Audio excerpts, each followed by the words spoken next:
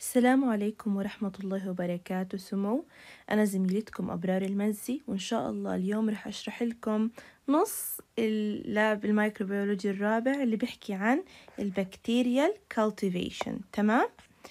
يلا بسم الله الرحمن الرحيم. أول شي bacterial cultivation means bacterial culturing يعني زراعة البكتيريا. أول شي بدنا نتعرف على ال function of clinical microbiology lab أنا ليش بروح على microbiology lab بودي عينات على microbiology lab إيش بيعمل لي؟ participation ال microbiology أو ال clinical microbiology lab participate in management of patient with infectious disease by processing of a clinical specimen. On أو under الميكروسكوبي cultivation and isolation of pathogens uh, and identi- identification of this isolate and doing finally antimicrobial susceptibility testing okay for the isolate ايش يعني بحكي لي انه آه، مختبر الميكروبيولوجي آه، يساهم او آه، في فحص العينات أو عينات المرضى المصابين بال infectious disease عندهم عدوى صار في عندهم infection تمام؟ بروح باخد هاي العينة clinical specimen باخدها بوديها على المختبر عشان يفحص لي إياها بالطرق التالية. يا إما بشوفها تحت الميكروسكوب تمام؟ عشان أعرف نوع ال microorganism أو الشكل تبع الخلايا أو هكذا. برضو بودي هاي العينات لل cultivation يعني ال culturing و isolation of pathogen إني بعزل ال pathogen اللي أنا شاكة فيه عن غيره من ال pathogens تمام؟ إنه أنا بدي أو أنا قاعدة بدور عن هذا ال pathogen بعينه. وعملية ال cultivation للزراعة تستغرق أقل إشي 24 ساعة تمام؟ طيب أنا عملت مثلا شاكة pathogen معين عملت له culturing و isolation طب برضه بدي أعمل له identification. عشان ممكن أنا مثلا عملت isolation ل just gram positive طب أي وحدة فيهم؟ أو بس عملت isolation للبكتيريا فقط مثلا ال alpha hemolytic أو ال beta hemolytic بكتيريا تمام؟ اللي هم هدول بكسروا آه، خلايا الدم. طيب أي وحدة فيهم؟ فهاد هاي العملية إني أعرف أي وحدة فيهم تسمى ال identification وكيف ممكن أعمل identification إما macroscopy بعيني المجردة بشوف مثلا ال pattern اللي بتنمو فيها البكتيريا أو عن طريق ال microscopy. بشوف كيف شكلها تحت المجهر فأنا بعرف آه هاي إيه bacilli هاي diplococci هاي كذا. أو ممكن أعمل biochemical testing إني أحط عليها بعض المواد الكيميائية زي الجلوكوز أو اللاكتوز إذا تفاعلت معها أو عملت لها fermentation أو لا. أو ممكن أوديها على ال serology إيه عشان مثلا أشوف استجابتها ل antibody معين أو هكذا. فهاي بهاي الطرق كلياتها بقدر أعمل identification لل isolate ال isolate اللي هو الكائن الحي أو العينة اللي أنا كنت ببحث فيها عن كائن حي معين وقدرت إني أعزله عن غيره بحيث إنه ما يختلط أو يتلوث. برضو آخر إشي ممكن أعمله للبكتيريا ال culture هاي أعمل antimicrobial susceptibility testing إيش يعني؟ يعني بجيب مثلا أنا عرفت إنه هاي البكتيريا آه، ممكن تكون gram positive أو gram negative أو streptococcus أو staphylococcus فبروح حاطة آه، في ال culture تبعتي أو في الميديا حاطة antimicrobial agent antibiotic بروح حاطة antibiotic إذا لقيت إنه صار في عندي فراغ كبير حوالين آه، نقطة ال antibiotic هاي اللي حطيتها فمعناته قاعد البكتيريا بتموت تمام؟ يعني هي sensitive لهذا ال antibiotic لو أعطيت المريض هذا ال antibiotic فرح يتعافى ويتشافى. أما إذا كانت ال inhibition zone ال inhibition zone اللي هاي المنطقة اللي بيصير فيها موت للبكتيريا هاي المنطقة الفاضية اللي بنشوفها حوالين ال antimicrobial agent لو ما كانت كبيرة أو كانت معدومة فهاي البكتيريا معناته not sensitive لهذا ال antibiotic أو بنسميها resistant لل antibiotic وبالتالي بعرف إنه أنا مش لازم أعطي هذا المريض هذا ال antibiotic تمام؟ تمام. باختصار تعالوا نشوف كيف بتصير عملية البكتيريا الكالتيفيشن وأهدافها والبيربس الديفينيشن والبيربسز من البكتيريا الكالتيفيشن أول شيء أنا بعمل collection of bacterial containing clinical specimen from patients infection site. وهي بتصير in vivo تمام؟ يعني أنا يعني ال infection ال infection site هو in vivo لأنه البكتيريا موجودة داخل هذا ال patient في الداخل هي داخل خلاياه تمام؟ فبروح هذا ال infection site مثلا ال urinary tract أو respiratory tract wherever بروح ماخذة clinical specimen.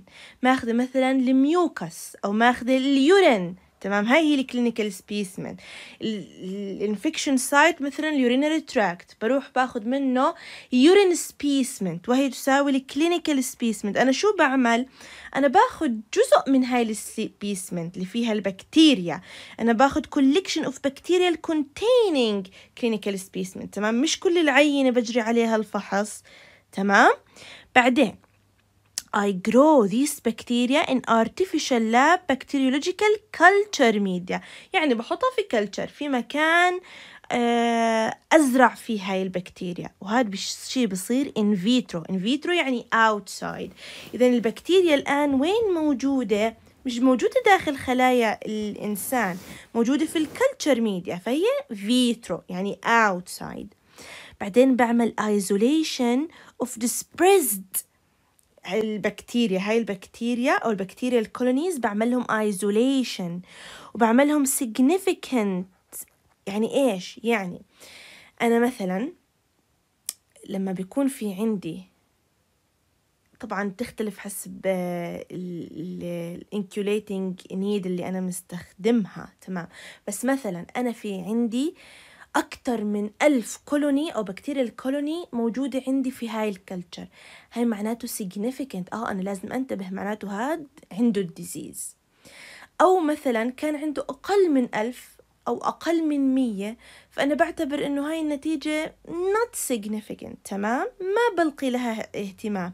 بروح بدور على other microorganism اللي سبب لي ال disease تمام؟ فهي significant إنه كل ما زاد ال number of colony بيكون بيكون بتكون يعني ال culture لهذا ال pathogen آه مهمة وبتعطيني دليل إنه yes مصاب في هذا المرض. آه and pure bacterial colony إذا لازم تكون هاي ال bacterial colony pure يعني فيها one type of microorganism. تمام؟ بعدين ممكن أعمل macroscopic examination of colony characteristic. On primary culture media. يعني macroscopic إني بشوفها بعين المجرد. كيف نمط نموها إيه كيف الشكل كيف غيرت لي اللون مثلا تبع الميديا أو طلع في رائحة معينة للميديا. هاي كلياتها macroscopic characteristic لل colony تبعتي. Early preliminary information regarding bacterial isolated. إذا برضو ممكن أجمع أو أشوف بعض المعلومات لأستشفها من هاي ال characteristic ال macroscopic characteristic لل culture media فأنا بقدر أجمع information عن هاد البكتيريا isolate. برضو ممكن أعمل laboratory confirmatory procedure. إنه ممكن أعمل زي ما قلنا حالة ال identification بستخدم biochemical testing أو ال serology بحيث إني أضيف بعد بعض المواد اللي تعرفني أو تحكي لي إنه yes هاي البكتيريا بعينها وليس سواها تمام؟ هذول بحكي لهم confirmatory procedure إنه بيأكدوا لي التشخيص تبعي أو إنه هاي البكتيريا yes هي اللي نامية تمام؟ بعدين بعمل definitive characterization and identification and antimicrobial susceptibility testing زي اللي ذكرناه فوق. وآخر إشي بعمل reporting لل clinician طلب مني أفحص له هاي العينة إنه أنا لقيت بالعينة واحد اثنين ثلاث نوع ال microorganism كذا وكذا. إذا لازم أعمل report لل clinician طيب البكتيريا cultivation growth requirements أي إشي بالحياة بده ينمو بده يكبر بده يتكاثر في له requirements في له متطلبات The appropriate هسه بناخذ البكتيريا requirements عشان تنمو The appropriate growth requirements for in vitro bacterial cultivation include all of the following إذا عشان أزرع البكتيريا الفي in vitro في الخارج تحتاج كل ما يلي. تحتاج nutritional needs بال culture بال culture media يعني بدها غذاء متطلبات غذائية وبرضه بدها environmental condition أو incubation condition. بدها برضه متطلبات بيئية. يعني أنا بكتيريا ما بنمو إلا لو كان في هذا ال culture عندي جلوكوز عندي مثلا iron آه، عندي minerals معينين عندي yeast extract مثلا هاي إحدى المتطلبات لبعض أنواع البكتيريا وأنا برضو بكتيريا ما بنمو إلا بدرجة حرارة خمسة وثلاثين بدي الرطوبة تكون كذا الضغط كذا. إلها إذا هاي بنسميها environmental condition تمام؟ طيب خلينا نتوسع بكل وحدة فيهم. ال nutritional need المتطلبات الغذائية. أول إشي في عنا ال water أهم إشي. وليش نستخدم ال water to dissolve ال material to be transported across the cytoplasmic membrane إذا هي بدها مثلا جلوكوز بدها iron بدها minerals بدها بدها بدها. هاي الأشياء وين كلها راح أحطها؟ راح أحطها هيك زي powder مستحيل. لازم تكون dissolved in water تمام؟ بحيث إنه لما تكون dissolved في ال water وأحط هاي البكتيريا هاي ال materials will be transported across the cytoplasmic membrane of the bacteria تمام؟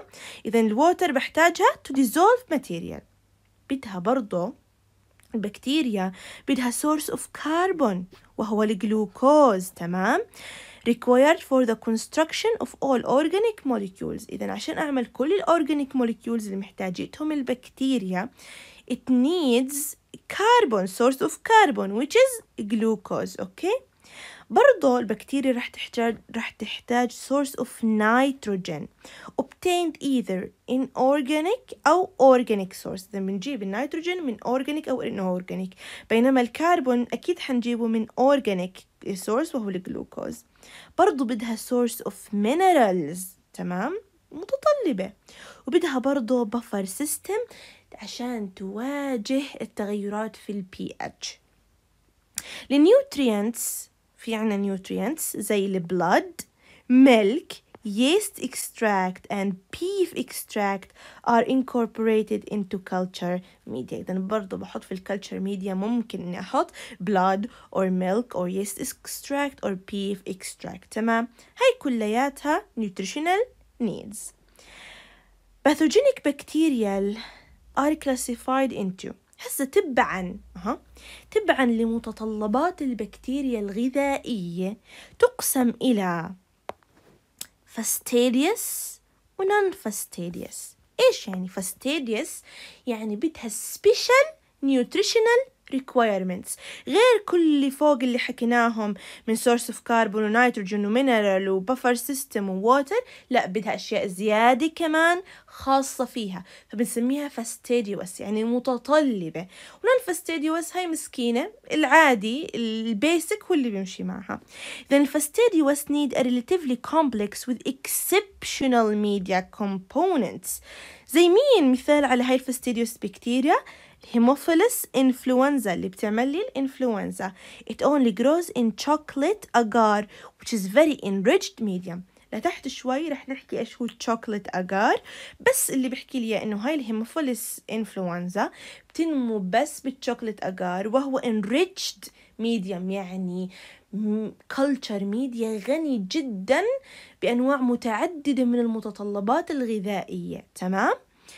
non-fastidious need are needs are relatively basic and straightforward ما بدها كتير أشياء العادي ماشي معها Various type of culture media are used in microbiology lab according to different needs for pathogenic bacteria يعني المعلومة مش إشي واو بس بحكي لي إنه بالميكروبيولوجي لاب أنا بستخدم different uh, culture media تبعا لاختلاف البكتيريا اللي أنا بدي أزرعها واللي قاعدة بدور عليها يعني لو كانت عندي Haemophilus influenzae أكيد مش حتكون عندي زي مثلا any other bacteria طيب هسه نيجي نحكي عن environmental condition أو incubation condition وال requirements For environmental incubation condition to support the growth of clinically relevant uh, bacteria include إيش أنا بدي؟ يعني بحكي لي بالعربي إيش هي ال environmental condition اللي أنا بحتاجها عشان أنمي هالبكتيريا أو أزرع هالبكتيريا. أول شيء أكيد بدها oxygen and carbon dioxide وتبعا لهذا ال requirements رح نقسمهم لتحت رح نقسمهم تحت لشيء معين تمام؟ برضو من ال environmental requirements ال temperature مش كلهم بنمو على نفس ال temperature وبرضه البي اتش مش كلهم بيحتاجوا وبنمو على نفس البي اتش هذا شيء مفروغ منه. Moisture content of medium and atmosphere. يعني بحكي لي آه، الرطوبة نسبة الرطوبة الموجودة في هذا ال culture medium آه، والجو والهواء والتهوية يعني مختلفة أيضا من one bacteria to another okay فهاي هي أول شيء ال environmental آه، كيف بدي أسميهم؟ يعني النقاط الرئيسية اللي بدي أطلع عليها من حيث ال environmental factor لما أحكي environmental factor بخطر على بالي. oxygen carbon dioxide temperature pH moisture and atmosphere تمام؟ وكل واحدة فيهم لها ما يخصها. بالضبط زي environmental أو nutritional sorry nutritional needs. طيب تبعا للأكسجين وال carbon dioxide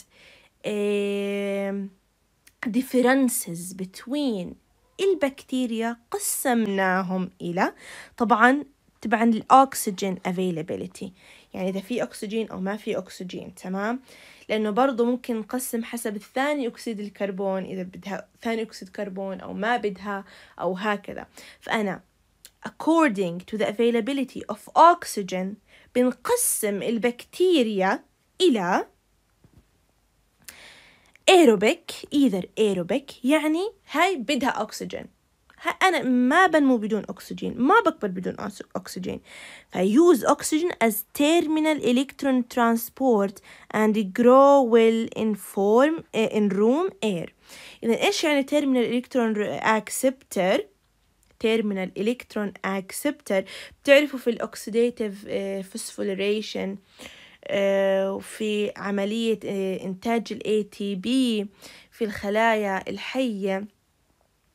بستخدم الأكسجين غالبا ك بنسميه الأكسجين terminal electron acceptor المستقبل النهائي للأكسجين. أكيد مر عليكم.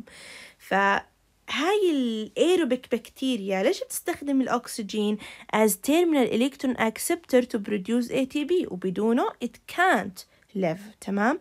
وهاي البكتيريا ال aerobic it grow in room air بهواء الغرفة العادي. برضو في عنا ال division الثاني اللي هي facultative anaerobe يعني هاي مست يعني facultative anaerobe يعني able to grow in presence or absence of oxygen. يعني مش فارقة معها. جبت لي الأكسجين بكبر فيه. ما كان في أكسجين برضو بقدر إني أكبر وأتكاثر. مش فارقة عندها. تمام؟ إذا ممكن تكون aerobic وممكن تكون anaerobic تبعا لاختلاف الظروف الجوية حولها. أما التقسيم الثالثة فهي strictly or obligate anaerobe تمام؟ يعني هاي مستحيل تنمو بدون الأكسجين. unable to use um, sorry sorry. strictly anaerobe يعني unable to use oxygen. It cannot grow in the presence of oxygen. تمام ف unable to use oxygen as an electron acceptor. ما بتنمو بوجود الأكسجين أبدا بتموت وبرضو التقسيمة الرابعة microaerophilic أو microaerobic يعني aerobic bacteria require only low level of oxygen ما اسمها micro aerobic micro يعني little amount و يعني it consume or needs O2 فمايكرو aerobic يعني it require only little amount low level of oxygen uh, to grow مثال عليها نوع من البكتيريا اسمه الكامبيلوباكتر تمام نوت هون عنا O2 is toxic to obligate anaerobic bacteria ما احنا قلنا obligate or strictly anaerobe يعني it doesn't use oxygen it cannot grow in the presence of oxygen so the oxygen is toxic for it طيب الأكسجين نحكي شوية معلومات عن الأكسجين وشوية معلومات عن الكربون دايوكسيد some بكتيريا زي عدوا على إيديكم السودومونس members of Neisseriaceae أو ال Neisseria family البروسيلا ال Bordetella Francisella species إذا عندنا بروسيلا بورديتيلا فرانسيسيلا نايسيرياسي and Pseudomonas species يعتبر strictly aerobic strictly what aerobic so they use oxygen as terminal electron acceptor and cannot grow in absence of oxygen other aerobic bacteria require only low level of oxygen وقبل شوي حكينا عنها اللي هي الكامبيلوباكتر آه بنسميهم micro aerophilic or micro aerobic مثال عليها الكامبيلوباكتر كربون دايوكسيد نحكي شوية معلومات عن ال carbon dioxide بحكي capnophilic organism شو يعني capnophilic organism يعني organisms grow best with higher CO2 concentration than provided in air room. تمام؟ يعني بيحتاجوا تركيز أعلى من ال carbon dioxide من الموجود في ال regular room air عشان ينمو ويتكاثروا. بنسميهم capnophilic يعني بدهم تركيز عالي من ال carbon dioxide قديش التركيز اللي بيحتاجوه؟ خمسة لعشرة بالمية of CO2 بينما اللي موجود في ال normal أو ال regular room air هو أربعة بالمية بالمية. فاهمين كيف؟ قديش قليلة هاي النسبة؟ فال capnophilic organism they need from 5 to 10% of carbon dioxide in order to grow تمام for some bacteria 5 ل 10% of carbon dioxide concentration is essential for successful initial cultivation from clinical specimen زي ال Campylobacter إذا إيش أول إشي عرفناه عن ال Campylobacter أو في صار عندنا معلومتين عن ال Campylobacter أول وحدة إنها تعتبر microaerobic أو microaerophilic يعني تحتاج low level of oxygen to grow. وثاني شغلة إنها تعتبر capnophilic بتحتاج خمسة لعشرة بالمية of CO2 for successful initial cultivation from clinical specimen. تمام؟ تمام. إذا أول شيء حكينا عنه بال environmental condition الأكسجين وال carbon dioxide وحكينا عن كل واحدة فيهم. هلا نحكي عن ال temperature وال pH ال temperature most medically important bacterial pathogen generally multiply best at temperature similar to the to those of internal human host tissue and organs which is 37 Celsius. طيب يعني أنا قاعدة ببحث عن بكتيريا أصلا بدي أزرع بكتيريا عدت إنسان سببت انفكشن في إنسان. يعني أكيد رح تكون best environment أو best temperature إلها هي درجة حرارة الإنسان الطبيعية وهي 37 تمام؟ Incubator with temperature 35 ل 37 سلسيوس are used for cultivation إذا أنا بستخدم incubators أو حاضنات وبضبط درجة الحرارة فيها من 35 ل 37 سلسيوس عشان أزرع فيها البكتيريا Incubation at certain temperature can be used as an enrichment procedure for enhanced recovery of certain organism شو يعني بحكي لي؟ يعني بحكي لي أنا ممكن إني أستخدم هاي ال incubator آه، على درجة حرارة معينة عشان أحفز آه، النمو تبع آه، نوع معين من البكتيريا. يعني مثلا ممكن هاي البكتيريا yes بتنمو على درجة حرارة جسم الإنسان وبتعدي وبتسبب له أمراض ولكن أنا لو رفعت درجة الحرارة بزيادة أكتر أو خفضت درجة الحرارة بزيادة ممكن إنها تنمو بشكل أفضل تمام فاي enhance the growth of it مثال عليها Campylobacter jejuni grows at 42 Celsius whereas many other pathogens and non-pathogens cannot تمام آه إذا يعني هاي صرنا إذا في عنا كلمة Campylobacter صار عليها آه أكثر من معلومة ثلاث معلومات. أول معلومة ال Campylobacter يعتبروا microaerobic أو microaerophilic وبرضه يعتبروا capnophilic they need uh, CO2 concentration of 5 to 10% وبرضه في species يعني في نوع معين من ال Campylobacter ألا وهو ال Campylobacter jejuni grows at 42 Celsius تمام فأنا بضبط ال incubator على درجة الحرارة هاي to enhance its growth cold enrichment for Listeria monocytogenes and Yersinia Yersinia enterocolitica at 0 Celsius um, which cause food poisoning because it grows in fridges. However, they grow best at temperature between 20 and 40 Celsius. إيش يعني هاي المعلومة؟ بحكي لي بس إنه في عندي نوعين من البكتيريا واحدة اسمها Listeria monocytogenes والتاني اسمها Yersinia enterocolitica هدول ممكن إنهم ينمو على درجة على درجة حرارة صفر سيليسيوس تمام ف إيش يعني لأنهم قادرين إنهم ينموا على درجة الحرارة هاي ممكن يسببوا لي food poisoning العفن اللي بشوفه على الطعام لما يكون داخل الثلاجة. ممكن تفتحوا الثلاجة وتلاقوا مثلا بندورة أو خيار معفن أو قديم أو خربان أو ممكن جبنة مثلا. فمين المسؤول عن تسبب بهذا الأمر؟ ال Listeria monocytogenes enterocolitica. تمام؟ هم بيقدروا ينموا على ال zero Celsius بس هم they grow best ال optimal temperature لهم من 20 ل 40 سيليسيوس تمام؟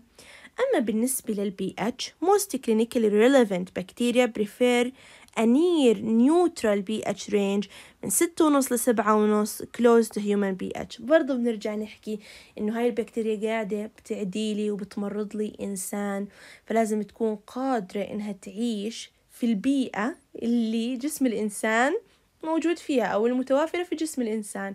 فبكون بدها حرارة زي جسم الإنسان وبي إتش زي جسم الإنسان أو قريبة من بي إتش تبع جسم الإنسان من ستة ونص لسبعة ونص. طيب ال moisture يعني الرطوبة والهواء loss of water from media can be deleterious of bacterial growth in two ways. لما بحكي لنا لازم أحافظ على نسبة رطوبة معينة للميديا تمام؟ وإذا قلت نسبة الرطوبة هاي إحنا رح نأذي البكتيريا in two ways. أول شي less water is available for essential bacterial metabolic pathway. يعني أنا البكتيريا آه، بتعمل آه، عمليات ميتابوليزم عشان تتكاثر وتنقسم وتنمو.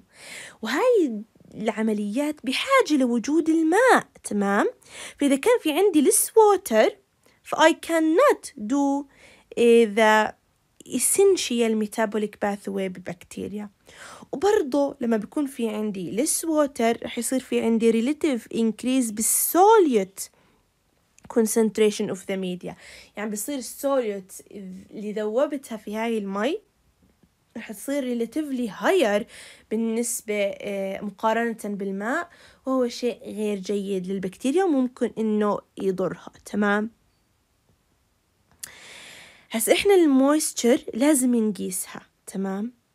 we measure the moisture to ensure that appropriate moisture level are maintained, maintained throughout the incubation period include كيف ممكن أعمل هاي الشغلة how can I measure um, أو can I um, ensure that appropriate moisture level is available للبكتيريا First of all, sealing agar plates on trap uh, sorry to trap moisture يعني بسكر ال agar plates أو ال petri dishes هدول بسكرهم من فوق عشان أحافظ على نسبة رطوبة معينة آه، مش أقل ولا أكتر. فأنا زي بعمل sealing لل agar بسكره أو بعزله عن البيئة الخارجية. وبرضه ممكن إني أستخدم ال humidified incubator تمام؟ ال humidity اللي هي الرطوبة. ف humidified incubator يعني بتكون حاضنات فيها رطوبة أو نسبة رطوبة معينة. تمام؟ إذا بهاي الطرق عن طريق إني أعمل سقف أو تغطية لل agar plates ال agar plates اللي هم نفسهم ال petri dishes باستخدام هاي الطريقة I trap ال moisture بنسبة معينة وممكن إني أستخدم ال humidified incubator لحاضنات الرطوبة بحيث إنها تحافظ لي على نسبة ثابتة ومعينة أنا بدي إياها من الرطوبة. هاي important note and very important note. ال incubators التقليديين اللي بنعمل فيهم incubation can be used to control the pH with temperature only. ما بقدر أعمل فيها control لل moisture أو ال humidity تمام؟ تمام. culture media أو growth media هسه تعال نبلش بموضوع جديد. يعني إن نحكي عن ال culture media أو ال growth media وهو الوسط الذي نزرع به البكتيريا. إذا liquid أو جل إذا ممكن يكون liquid ممكن يكون جل designed to support the growth of bacteria. إذا لاحظوا كلمة designed لأنه كل ميديا بيختلف عن الثاني وممكن أحط فيه متطلبات و nutri و nutrition معينين مختلفين عن ميديا آخر. يعني هو designed لنوع معين من البكتيريا تمام؟ طيب ال culture media physical states اذا إحنا حكينا بالتعريف فوق إنه ممكن يكون liquid وممكن يكون جل فنستنتج مما سبق إنه من حيث الحالة الفيزيائية ال culture media ممكن تكون liquid ممكن تكون solid وممكن تكون semi solid ال liquid بنحكي له broth broth تمام ميديا contains no agar ما في agar. وهسه بنحكي شوي عن الاجار أما ال solid اللي هو ال agar contains 1.5% of agar. تمام وهو biphasic medium contains liquid and solid parts إذا يعني solid فيه liquid و solid parts. هذا الأجار تمام مثال عليه ال Brucella Castaneda medium Brucella Castaneda medium تمام إذا هذا اسم medium Brucella Castaneda هو اسم medium ين... أو يتبع إلى ال solid agar اللي هو biphasic medium يعتبر فيه liquid و solid parts تمام؟ وال semi solid contains only 0.5% of agar. ومثال عليه ال motility medium used to test the motility of هون مش medium ال organism أو البكتيريا عشان أشوف إذا هي البكتيريا بتتحرك أو ما بتتحرك. فبستخدم semi solid medium أو بسميه ال motility medium تمام؟ هسا رح نحكي شوي بالتفصيل عن كل واحد. تمام؟ ال broth media اللي هو قلنا عنه ال liquid. nutrients are dissolved in water. liquid. تمام؟ used for what? Used for growth of a pure batch culture. إيش يعني pure batch culture? ال batch culture هي يعني ميديا أو culture بيكون فيها limited amount of nutrients. يعني مش إنه enriched مثلا لا تعتبر enriched بتكون عادي. وعشان أزرع فيها pure culture إنه نوع معين من البكتيريا تمام؟ مش غيرها.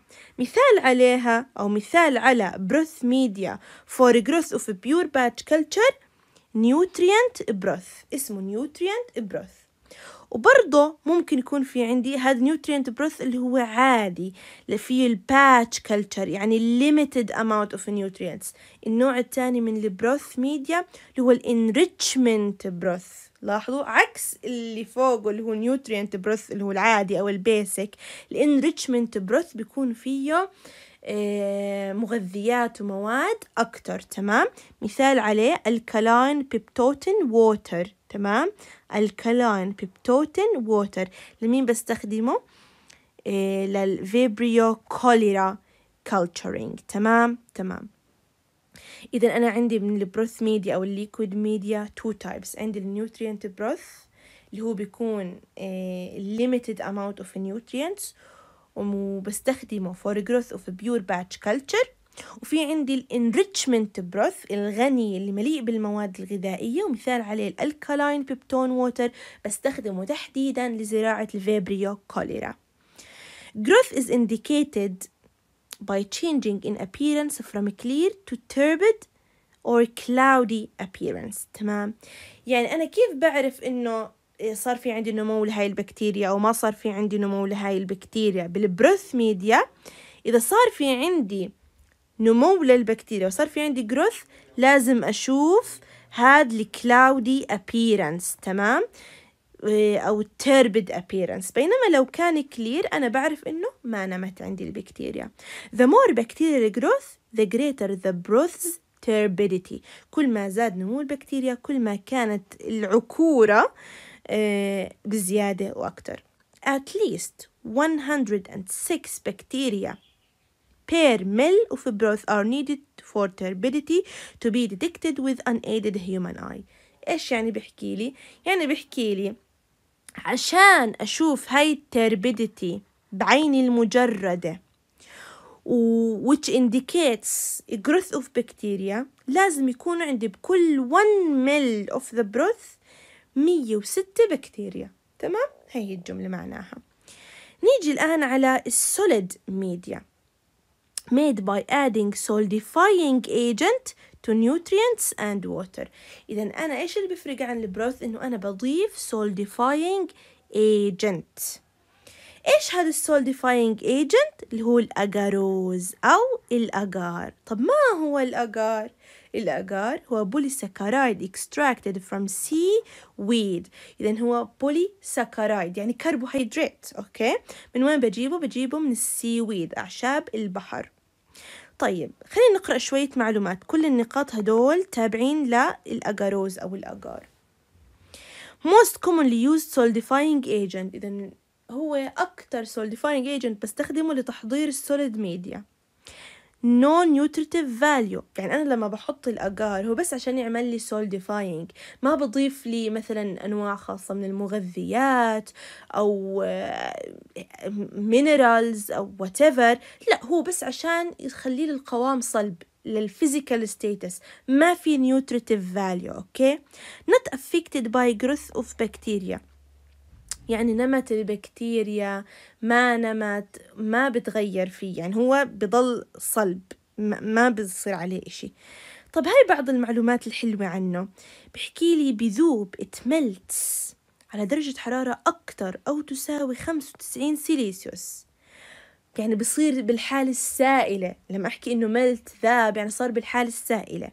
But it resolidifies at less than 50 سيليسيوس تمام؟ like, like jelly إذا بحكي لي أنا بقدر إني أذوب الأجار هاد على درجة حرارة خمسة وتسعين وأطلع بصير زي السائل. بعدين بصير برجع صلب وبصير زي الجيلي على درجة حرارة أقل من خمسين. إذا لازم ينزل ينزل تنزل درجة حرارته لأقل من خمسين عشان يرجع لحالته الصلبة. تمام؟ إيش هذا الشيء يتيح لي؟ allows for heating to extremely high temperature required for sterilization إذا أنا لما بدي أحضر ال solid media عشان أعمل culture لازم الأجار وكل ال nutrients اللي أحضرهم يكونوا clean و sterilized إذا كونه بقدر إني أعمل له melting على درجات حرارة عالية. هذا الشيء يتيح لي إني أسخنه أسخنه أسخنه على high temperature عشان أعمل له sterilization وتعقيم وتنظيف تمام؟ بعدين بعمل له cooling ل 55 ل 60 سيليسيوس إحنا قلنا إنه بصير صلب على درجة حرارة أقل من خمسين. بس أنا بروح منزلة درجة حرارته لخمسة وخمسين لستين عشان شو؟ عشان بهاي درجة الحرارة بقدر إني أوزعه في ال petri dishes for distribution into petri dishes تمام؟ إذا بنزل درجة حرارته لخمسين لستين أو خمسة وخمسين عشان أعمل distribution في ال petri dishes and tubes. بعدين بعمل further cooling forming stable solid gel وهو الأجار تمام؟ تمام؟ التمام. هلا الأجار ممكن أحطه أو أشوفه ب three forms ممكن أشوفه في plate أو petri dishes ممكن أشوفه في slant ممكن أشوفه as agar deep تمام؟ إيش الفرق بين كل واحدة؟ ال agar plate يعني petri dishes petri dishes بحطه في هال petri dish هذا ال petri dish شايفينه؟ هاد. صحن زي الصحن. بحط الأجار فيه فبصير agar plate provide large surface area for culturing. إذا بيعطيني مساحة سطح واسعة لنمو البكتيريا. Incubated in inverted position. agar compartments upward and dish cover downward. إيش يعني؟ يعني بحكي لي أنا لما أجي أخزن ال agar plates هدول كيف بخزنهم؟ مش زي هيك شايفين هذا اطلعوا على هاي الصورة. مش زي هيك وبحط الغطاي وبغلقه. لا بحكي لما باجي أخزنه بقلب العلبة بقلب العلبة هاي بحط طبعا بحط الغطا وبقلب العلبة بحيث الأجار يكون فوق upward والغطا يكون downward تمام؟ في عندي كمان ال form الثاني ال agar slant أو ال agar buff example عليه triple sugar iron تمام؟ كيف يعني؟ هسا ال agar slant يقسم إلى agar buff أو slant اللي هو العادي تمام؟ ال buff إنه آه بيوفر لي anaerobic environment تمام؟ إيه لما بحط الأجار بحطه بطريقة إنه تحت يوفر لي anaerobic environment مش معرضة للأكسجين أبدا.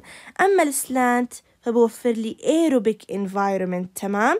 يعني بكون كل ال كل الأجار معرض لل outside environment تمام؟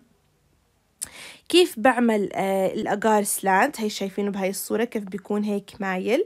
كيف بعمل ال agar slant؟ وأنا قاعدة بصب الأجار الذائب بكون مميلة لل tube تبعي وبتركه يتجمد وهو بهاي الطريقة وفي عنده ميلان تمام؟ فبس اعرفوا إنه ال agar slant could be buff could be slant البف الانيروبيك environment والسلانت للأيروبيك environment تمام؟ في عنا ال agar deep used for storage. ذات small surface area. هاي ال agar deep شايفين كيف؟ يعني مش زي ال petri dish very large surface area. ومش زي ال slant اللي بتكون مائلة برضو بيكون في larger يعني amount of area. لا أنا عندي هون بيكون بشكل مستقيم فبكون في عندي very small surface area بستخدمها لل storage and study of bacteria of requirements. تمام؟ بهاي الصورة بنشوف إنه هون ال broth tube كيف بكون سائل وبهاي الصورة ببين أوضح. هاي broth هاي broth هاي slant وهاي deep تمام؟ شايفين واضحين كتير بالصورة. وهاي ال petri dishes هون واضحين. ال culture media agar plates ال agar plates ممكن يكونوا nutrient agar اللي هو ال basic العادي وممكن يكون enriched agar زي ال blood agar وال chocolate agar اللي كمان شوي راح نناقشهم. تمام؟ ال nutrient agar has basic nutritional component وبيكون لونه زي هيك. شايفين؟ على أصفر أخضر إشي زي هيك. أما ال blood agar فهو يعتبر enriched. تمام؟ enriched agar بهاي الصور ببين لي عملية زراعة البكتيريا أو كيف ممكن أعمل collecting لل sample عن طريق ال hook or loop هاي العصاية فيها هاد loop وهاي hook تمام؟ هذا الجزء اسمه hook وهذا الجزء اسمه loop أول شيء نحكي عن ال collecting sample. لما بدي أعمل collecting للسامبل I can point the hook down يعني راسه لتحت شايفين هيك ميلانه لتحت to big colonies or face hook up زي بهاي الطريقة الراس لفوق to collect larger samples from medium surface تمام إذا بهاي الطريقة يا إما بيكون down وإذا بدي أكتر larger samples I turn it uh, up تمام I turn the hook up طيب هسا ال liquid sample I collected with the loop. تمام؟ هذا الجزء الدائري المفرغ للل liquid sample أما بالنسبة لل solid sample I collected with the hook لأنه هيك زي كأنه آه بيطلع الأشياء فيه أو يعني بيشيلها أو آه يعني هيك. طيب بعدين هسا في عندي خيارين.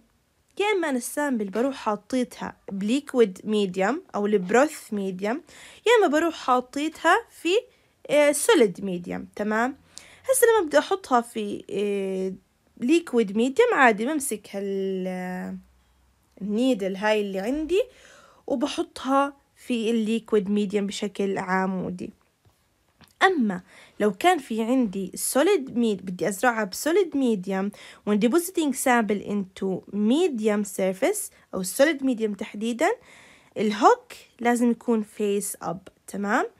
إذا هون بدي أحطها بهذا ال medium هون بدي أحطها بهذا ال medium لازم ال hook يكون لبرا face upward تمام؟ أما إنه يكون downward هذا الشيء غلط.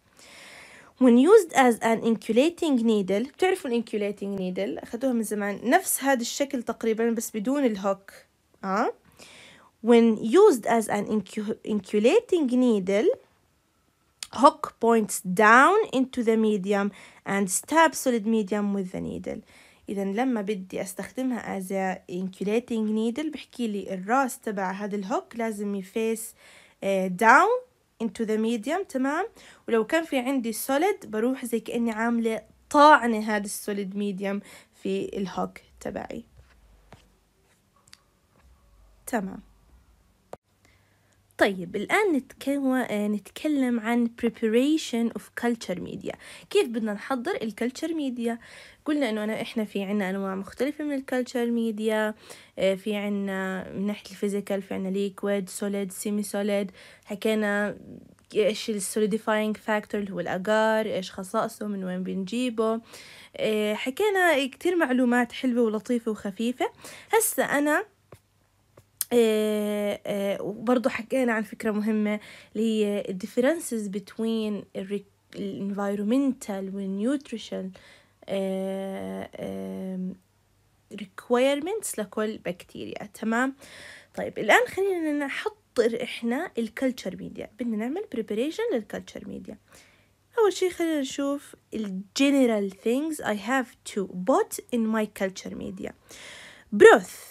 and agar media are prepared by reconstituting or dissolving إذا reconstituting نفسها dissolving specific amount of powder in water distilled this water could be distilled or deionized تمام إذا أنا سواء بدي أعمل بروث ميديا أو أجار وحكينا بروث يعني ليكويد وأجار يعني solid لازم أذوب powder فيها يعني مواد مختلفة في water this water could be distilled or deionized تمام إيش الفرق عاد بصفي بينهم بين آه بنسبة المياه وإذا بنضيف solidifying آه agent or not أوكي بعدين إيش بنعمل boiling is often required to dissolve the powder not sterilization.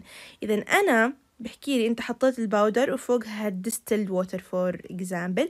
بحكي لي لازم إنك تغلي هاي المي مع ال powder عشان هاي ال powder to dissolve. يعني ما بتذوب إلا إذا عملت boiling ل this powder with water. وال boiling ما بنستخدمه لل sterilization no it's just for dissolving of the powder. بعدين most media require sterilization. طب ماشي انت قلت لي إنه بنغلي وهيك عشان to dissolve not sterilization. بس مش يعني أنا مش بحاجة لل sterilization. لازم كل شيء يكون sterile ونظيف ومعقم لأقصى سرعة أو لأقصى درجة عفوا. How this could be done? Or uh, خلينا نبلش ب why بعدين how. Why most media require sterilization to allow only growth of bacteria from patient specimen and prevent the growth of contaminants from water or powder media يعني أنا لما بدي أزرع ال clinical specimen أو ال patient specimen في هالميديا اللي أنا حضرته بدي أتأكد أتأكد إنه البكتيريا اللي طلعت عندي أو ال microorganism هي تبعت ال clinical specimen مش جاية من ال contaminated water أو ال contaminated powder فلازم لما أعمل وأخلط ال water وال powder أروح أعملهم sterilization وتعقيم عشان أتأكد إنهم نضاف وخاليين من البكتيريا مية بالمية. وكيف هاي العملية بتصير؟ آه عن عن طريق الأوتوكلاف. تمام؟ هسا إحنا هاي الجنرال بمسك هالباودر وبحطها بالمي بغليهم عشان يذوب الباودر وبعدين بعملهم sterilization طيب هسه في عندي additives other sterile supplements as sheep blood or specific vitamins, nutrients or antibiotic should be added لازم يكونوا sterile تمام متى بضيفهم when molten agar has cooled just before distribution to plates تمام sterile supplements because before we add it we put the agar in autoclave إذا before I put these additives I put the agar اللي حضرته من الباودر والووتر بالأوتوكليف إيه عشان يعمل له sterilization so supplement must be sterilized متى بحط السبلمنت مش أنا غليت الأجار تمام إيه غليته وعملت له sterilization. بس يبرد يعني أقل من خمسة وتسعين درجة مئوية. وقبل ما يجمد في البتري ديشز بيكون يعني لسه هيك بين بين. يعني قرب يصير صلب بس مش صلب مية بالمية ومش سائل مية بالمية. بهاي الحالة بالمولتن أجار الأجار الذائب بعد ما يبرد بشوي وقبل ما أوزعه في ال petri dishes بضيف عليه هاي ال additives من sheep blood و specific vitamins و nutrients و antibiotic ولازم يكونوا هدول الأشياء اللي بضيفهم sterile okay؟ لأنه أنا أصلا بعمل sterilization لل agar قبل إيه ما أحطه في ال petri dishes وبكون متأكدة إنه نظيف ومعقم. فتروح حاط لي عليه additives contaminated تخرب لي كل شغلي طبعا لا لازم يكونوا برضو sterile بحكي لي إنه في عندي delicate media components uh, that cannot withstand steam sterilization by autoclaving زي السيرم مثلا ال serum uh, ما بيتحمل ال sterilization عن طريق الأوتوكليف تمام؟ فهي تعتبر delicate media يعني إشي كتير رقيق وضعيف ما بتحمل ال steam sterilization by autoclaving أنتوا عارفين إنه كيف بنعمل هاي الشغلة أو كيف بحط الميديا في الأوتوكليف؟ على درجة حرارة مية واحد وعشرين وعلى خمستاشر اي بي اس اي جس for 15 minutes صح؟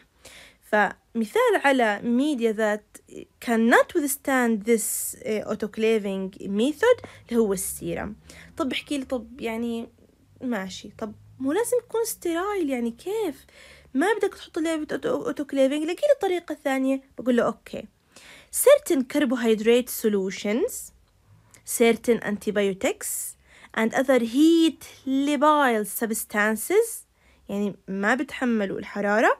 can be sterilized by filtration membrane أيوة هاي القال الطريقة. ما بتحمل ال autoclaving روح حط لي بال filtration membrane تمام؟ كيف هاي العملية بتصير؟ Passage of solutions.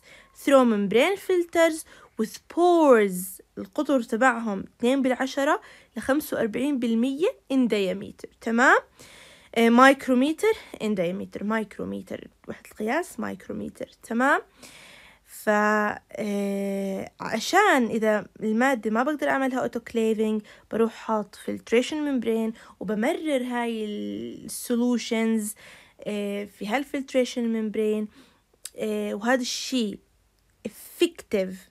to rem in removing most bacteria وال fungal contaminants but not viruses. للأسف مش مفيد في حالة ال viruses لأنه ال viruses قطرها أصغر من 2 بالعشرة ل 45% micrometer in diameter.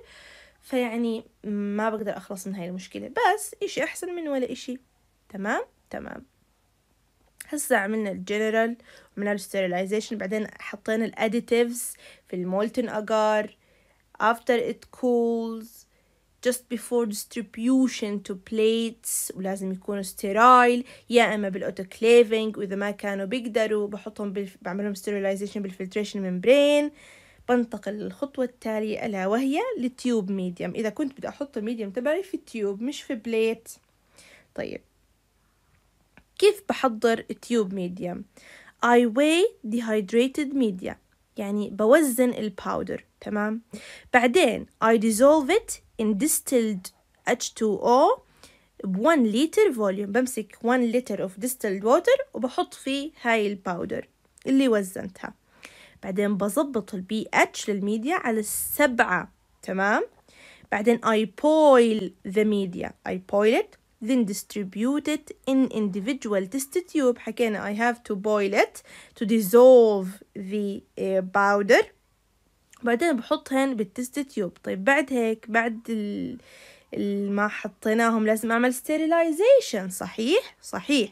sterilize for 15 minutes using autoclave or pressure or pressure cooker. إذا يا إما بستخدم ال autoclave لل sterilization أو ال pressure cooker at uh, 1 to 1 Celsius under 15 IPS تمام؟ بعدين I cool the mixture to 50 سيليسيوس وقلنا عندها عند ال 50 سيليسيوس بصير ال يعني بصير الميديا زي الجيلي صح؟ and pour into individual tubes. طيب هسه بحكي لي for slant agar تعرفين السلانت agar هاد اللي بنعمله بالميل شايفين؟ وفي منه نوعين بف وسلانت الباف للانيروبيك والسلانت للإيروبيك. طيب بحكي لي for slant agar place tubes in slant position until cool. يعني إيه لو كنت بدي أحضر slant agar بميل ال tube بشكل slant يعني بشكل مائل لحد ما يبرد ال mixture تمام؟ أما for broth media or deep agar اللي بيكونوا بشكل مستقيم place tubes in upright position until cool. Upright يعني بشكل معتدل ومستقيم تمام؟ تمام. طيب هلأ لو كنت بدي أعمل agar plate medium نفس الخطوات. weigh dehydrated media بوزن ال powder dissolve in distilled H2O in 1 liter volume. بعدين adjust pH على السبعة. boil media then distribute it in bottles or large flasks covered with plastic screw caps or aluminium foil respectively أيوة إذا أنا فوق كنت أروح حطيتهم في individual tubes تمام وين هون distribute in individual test tube وبعدين بعملهم sterilization بعدين بحطهم في individual other individual test tube تمام تمام. إذا أول مرة بحطهم individual test tube أول ما أحضر ال dissolved powder في الووتر بعدين بروح بعملهم sterilization وبحطهم في individual tubes ثانيين عشان أحضر slant بميلة وإذا broth بحط أو deep بحطه ب upright position أما بالنسبة اللي بدي أعمل plate medium بغليه بعدين ما بحطه ب individual tubes لا بحطه bottles أو large flasks زي زي هيك هاي هاي ال flask تمام وبغطيها ب plastic screw caps بغطيه بغطاء بلاستيك أو aluminum foil respectively آه نو no. أول شي I cover it with plastic screw cap يعني بحط plastic screw cap بعدين آه بحط آه aluminium foil آه respective يعني بحط هذا ورق الألمنيوم تعرفوه؟ هذا ورق الألمنيوم اللي بنحط فيه وبنغطي فيه الأكل وزي هيك عشان ندخله على الفرن. نفس الشي بنغطيهم لازم نغطيهم فيه. طيب بعدين لازم نعمل sterilization. Sterilize for 15 minutes using autoclave or pressure cooker.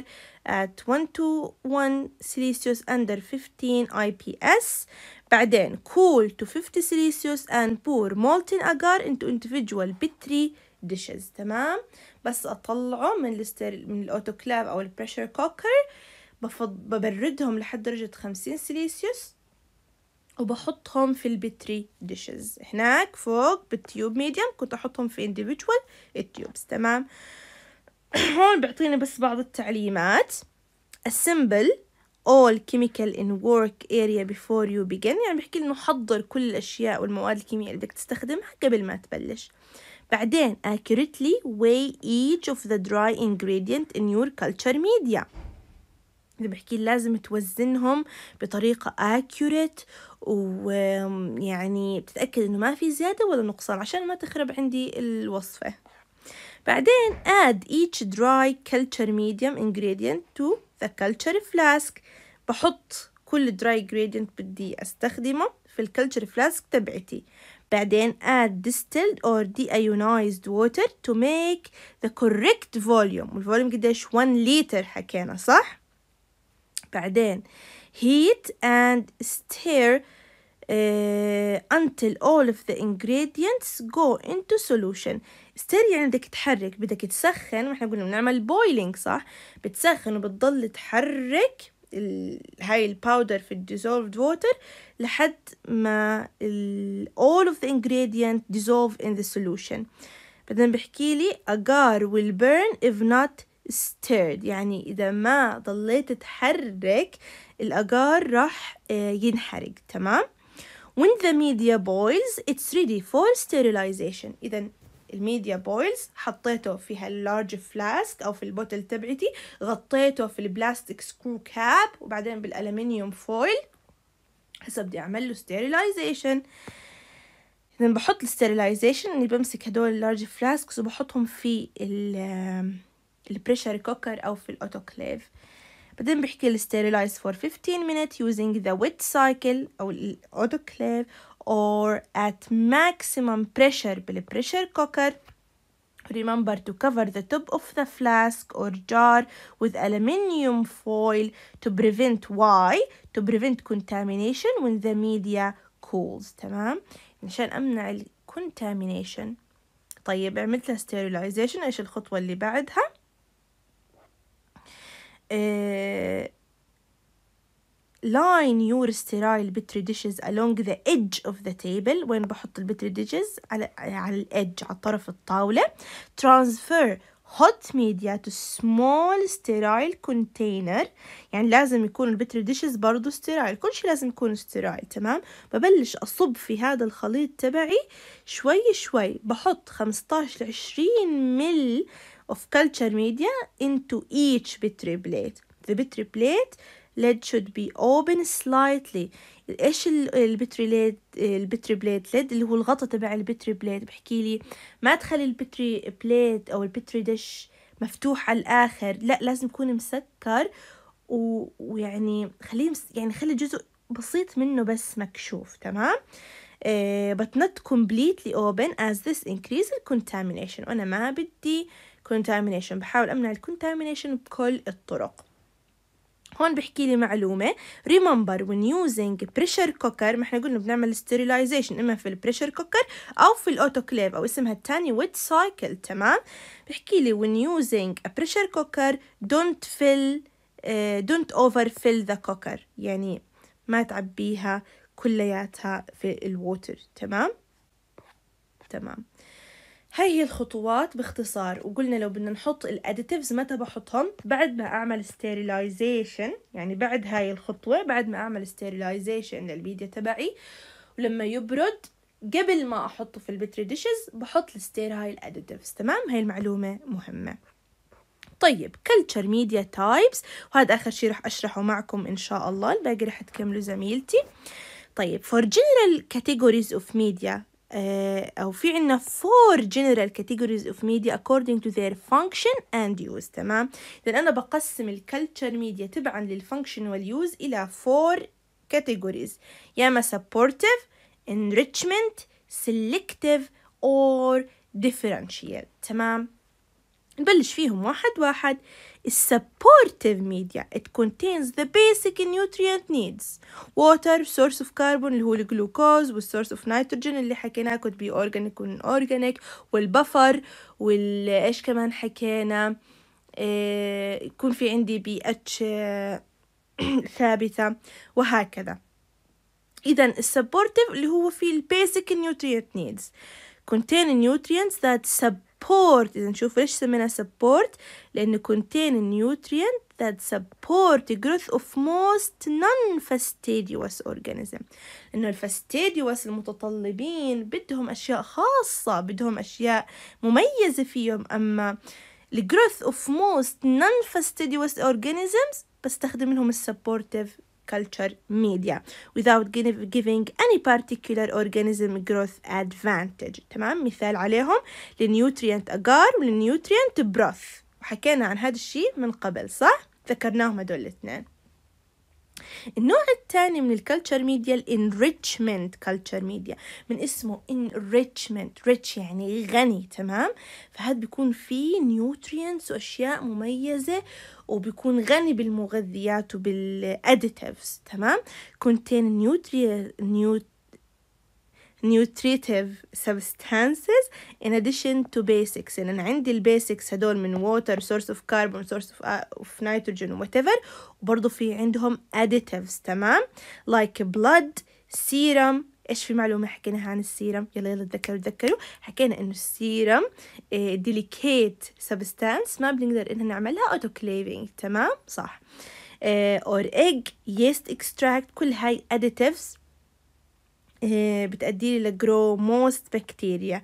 example على ال enrichment culture media ال blood agar وال chocolate agar. ولتحت رح نحكي إيش الفرق بينهم. طيب بحكي لي إنه هاي ال enrichment media اللي فيهم كل هاي ال additives ممكن يكون blood ممكن يكون سيرة ممكن يكون ايج ممكن يكون yeast extract. Some contain specific nutrients. يعني أشياء خاصة لسه أكتر من هيك grow why grow particular bacterial pathogen that may be present alone or with other bacterial species in patient specimen إنه عشان ليش بحط هاي ال specific nutrients عشان أعمل growth ل particular bacterial pathogen ممكن يكون موجود وحده في هال clinical specimen تبع ال patient أو ممكن يكون موجود مع other bacteria بس أنا ما بيهموني ال other أنا بيهمني this particular bacterial pathogen تمام؟ فبحط specific nutrients to grow this particular bacterial pathogen. مثال على ذلك buffered charcoal yeast extract. buffered charcoal yeast extract ولتحت رح نحكي قصة الاسم اسمه كتير واضح أجار هذا الأجار provides السيستين iron و other nutrients required for the growth of legionella pneumophila تمام إذا كل هاي يعني هذا الأجار فيه specific nutrients to grow particular bacteria اللي هي Legionella pneumophila وإيش هم هدول ال specific nutrients ال cysteine iron other nutrients. إذا هذا ال buffered charcoal yeast extract هو enrichment culture media. فيه nutri specific nutrients عشان تكشف لي عن وجود نوع خاص من البكتيريا ألا وهي Legionella pneumophila طيب خلينا نحكي شوية معلومات عن Legionella pneumophila It's a gram negative bacteria causative agent of Legionnaires آه، بتعمل لي المرض Legionnaires أو ليجوناريس أو ليجوناريس I don't know. uh, and it's هاي ليجينيلا نيوموفيلا it's a type of atypical pneumonia. إذن هي بتسبب لي نيومونيا بس atypical pneumonia تمام uh, it's discovered in 1976 and its result in outbreaks of disease وين بلاقيه في contaminated food and water سببت لي outbreaks في 1997 وهي إحدى وهي البكتيريا المسببة لليجوناريس وهي type of atypical pneumonia تمام؟ إن إحنا بنعرف إنه ال Streptococcus pneumoniae هي اللي بتعمل لي typical pneumonia typical pneumonia لأنها هي يعني بت أغلب حالات ال pneumonia بتكون caused by streptococcus pneumoniae صح؟ أما ال atypical pneumonia؟ هي ال pneumonia الناتجة عن أي microorganism ما عدا ال Streptococcus pneumoniae. مثال على ذلك البكتيريا صاحبتنا Legionella pneumophila. من اسمها pneumophila بتعمل ال pneumonia تمام؟ طيب. Enrichment broth. Broth يعني liquid. Enrichment broth. Used to enhance the growth of particular bacterial pathogen from mixture of organism. إذا إحنا حكينا أمثلة على agars تمام enrichment agar زي ال blood agar وال chocolate agar وال buffered charcoal yeast extract agar طب أنا في عندي برضو enrichment broth يعني liquid لشو بستخدمه growth of particular bacterial pathogen from mixture of organism تمام تمام example uh, selenite F broth for stool specimen بستخدمه للفحص عن ال Salmonella وال Shigella species وبرضو النوع الثاني حكيناه برضو فوق ال alkaline peptone water بستخدمه للفحص عن ال Vibrio cholerae متذكرين وين حكينا؟ لما حكينا عن هون ال broth media إنه في عندي النوع العادي ال basic وال limited amount of nutrient زي ال nutrient broth في عندي ال enrichment broth مثال عليه ال alkaline peptone water لل Vibrio cholerae ضيفوا عليه هسه اللي هو selenite F broth اللي بستخدمه لفحص stool specimen للكشف عن وجود ال Salmonella وال Shigella species طيب what is the difference between the blood and chocolate agar البلد والشوكليت agar هم اه يعتبروا enrichment اه culture media صح بحكي لي الشوكليت agar هو blood agar نفسه blood agar بس ايش I put it in the oven at 78 Celsius and this cause RBC's hemolysis so the chocolate agar forms. إذا البلد أجارز فعلا فعلا بلاقي بلد يعني بكون غالبا شيب بلد تمام؟ ف بدخل هاد البلد على الفرن على درجة حرارة 78 هاد الشي بيسبب خلايا الدم الحمراء إنها تنفجر تمام؟ وتطلع محتوياتها لبرا فبيتكون عندي ال chocolate agar وال chocolate agar more rich than blood agar. هاي معلومة إلكم. طيب حكينا إنه عشان أعمل كلتشر للليجونيلا نيوموفيلا إيش الأجار اللي بحطها في أول culture buffered charcoal yeast extract هاد شكله شايفين كيف لونه أسود؟ ليش؟ لأنه حكينا charcoal charcoal يعني آه black وال coal بيشبه الفحم صح؟ فحم يعني فحم. ف هو بيكون لونه أسود زي الفحم واسمه buffered charcoal yeast extract. buffered يعني بلاقي فيه buffer system to uh, face the changes in pH. و charcoal يعني coal يعني black يعني فحم بكون لونه أسود زي الفحم. و yeast extract يعني enrichment. حكينا لما بدي أعمل additive ممكن أحط yeast extract فيعتبر من ال additive اللي بحطها على ال culture media to be enriched. تمام؟ فال buffered charcoal yeast extract agar اللي بستخدمه لزراعة وال growth of Legionella pneumophila هاد شكله وهاد اسمه ووضحنا معنى اسمه. إنه buffered يعني في buffer system charcoal يعني black و yeast extract for enrichment هاي صورة تانية لل petri dishes ولاحظوا كيف بهاي الصورة اللون الأحمر مبين الأجار بيكون لفوق والغطا بيكون من تحت. هاي هيك بنعمل له saving طيب نيجي على آخر آه، شغلتين. واخر نوعين من الميديا اللي هو ال selective حكينا عن ال supportive اللي هو ال regular ال basic اللي بستخدمه ل growth of non-fastidious organism ال enrichment لل fastidious organism اللي بدهم متطلبات معينة وحكينا أمثلة عليهم. وحكينا إنه ممكن يكون اجار وممكن يكون broth وال broth فيه له اسمين selenite F broth و alkaline peptone water وحكينا كل واحد إيش بستخدمه لزراعة والكشف عن ماذا. نيجي نحكي عن ال selective culture media.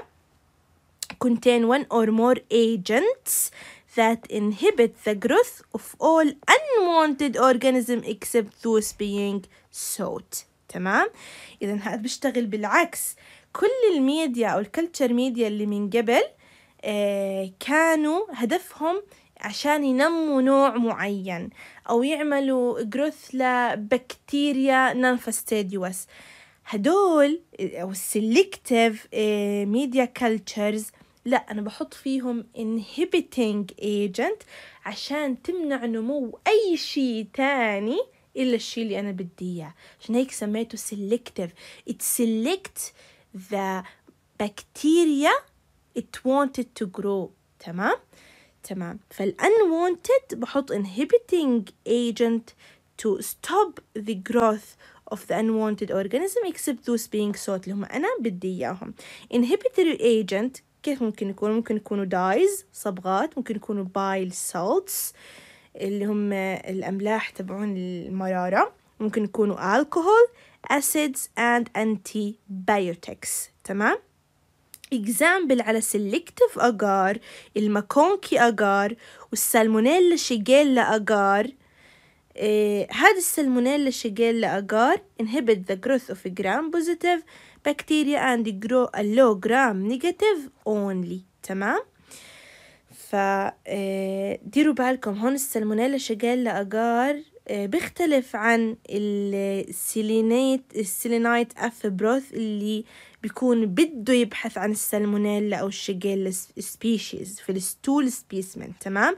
لا هاد Shigella Salmonella agar بيكون مخصص بس لل growth of gram negative وال gram positive ما بسمح لهم بالنمو تمام؟ تمام. نيجي على ال differential culture media آخر إشي differential اسمه differential يعني contains an indicator differential يعني indicator إشي بيدل على الشيء يميزه دونا عن غيره indicator as pH indicator that allows colonies of one bacterial species to exhibit certain metabolic or cultural characteristic that can be used to distinguish them from other bacteria growing in the same agar plate أيوة إيش يعني هاد يعني بحكي لي إيه أنا هاد الميديا بستخدم فيه indicator زي البي اتش indicator مثلا لو كان عندي هاي البكتيريا موجودة لازم يتغير لون الأجار من أصفر لأحمر تمام فهذا ال pH indicator بدل لي على يعني أو تغير لون الأجار تبعا لتغير البي اتش يدل لي إنه هاي البكتيريا موجودة ونمت. حتى بوجود other bacteria colonies وهاد ال indicator distinguish these bacterial colonies عن غيرهم اللي موجودين في ال agar plate تمام؟ إذا بيميز ال differential culture media إنه فيها indicator بحيث لما تنمو هاي البكتيريا يكون في إلها خصائص مميزة فيها metabolic أو cultural characteristic زي مثلا إنها بتطلع بي اتش بتغير لون الأجار تمام؟ آه فهذا الشي بيميز لي هاي البكتيريا عن غيرها. برضو مثال على ذلك ال أو مثال على ال culture characteristic زي مثلا أنا بستخدم blood agar وهي مثال مثال على فكرة على ال differential اللي هو ال blood agar إنه بعض البكتيريا بنحكي لهم beta hemolytic أو alpha hemolytic إنه بيسببوا تحلل لكريات الدم الحمراء. يا إما كلي يا إما جزئي وبناء على ذلك بنقسمها إلى بيتا أو ألفا تمام؟ فهذا الشيء بيعمل لي differentiation إنه لو عملت لي beta hemolytic أنا بعرف إنه أنا في عندي آه هاي ال family من البكتيريا. لو عملت لي alpha hemolytic أنا بعرف إنه كونها عملت alpha hemolytic هاي ال characteristic معناته هي ال colony كذا أو النوع كذا من البكتيريا تمام؟ مثال على ال differential culture media ال MacConkey agar اللي حكيناه فوق إنه هو selective ال MacConkey agar that differentiate between lactose fermenter turns into pink and non-lactose fermenter اللي هم ال gram negative bacteria turns colorless. تمام؟ يعني بالعربي أنا لو جبت MacConkey agar وحطيت فيه البكتيريا.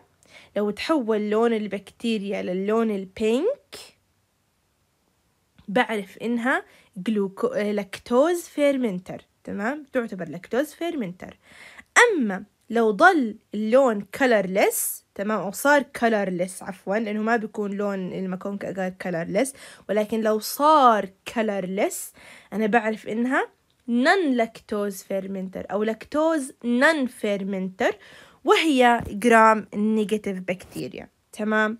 فال MacConkey agar يعتبر differential ويعتبر selective selective لأنه بيسمح بنمو آه مثلا نوع معين من البكتيريا positive مش negative وبرضه differential لأنه آه